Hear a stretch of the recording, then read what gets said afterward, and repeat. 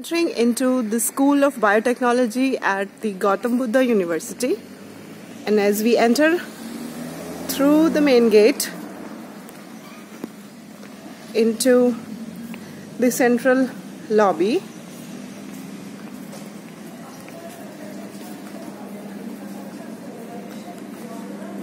on the right hand side as we move into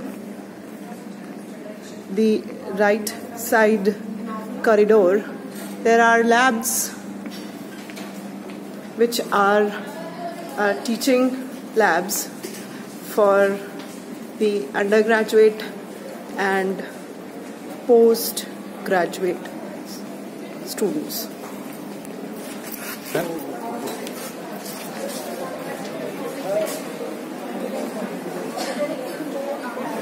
Where the teachers are interacting with the students.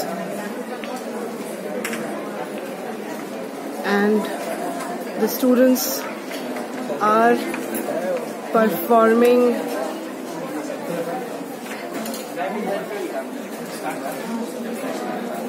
various